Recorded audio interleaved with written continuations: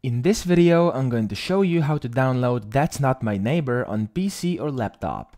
So the first thing you want to do is go to Google and type in That's Not My Neighbor. That's it. So that's the name of the game and that's exactly what you want to write in.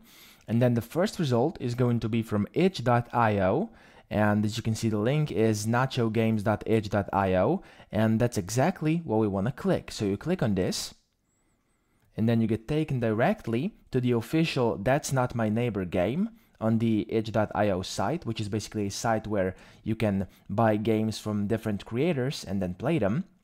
And as you can see, it says it's a downloadable game for Windows, Mac OS, and Linux.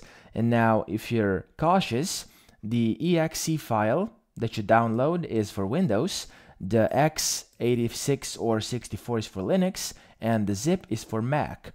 Now, the easiest way to get the game is by clicking up here where it says buy now or scrolling all the way down to the very bottom of the page. By the way, there are uh, instructions on how to uh, install it on different uh, operating systems and descriptions of the game over here.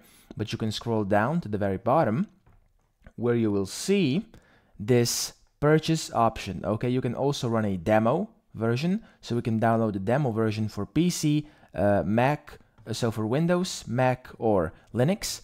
But if you want to buy the original game and the entire game, here's where you want to click. So you'll click on Purchase, Buy Now, and then the minimum price you will have to pay is $3, so $2.99, but you can pay above that if you want to. Just change this and you can support a creator that way. And as you can see, it says support the developer by paying above the minimum price. You can add uh, 1 2 5 or $10 to this you can also give the game as a gift. So if you give the game as a gift, you will be able to enter the email address of the recipient who is going to get the gift.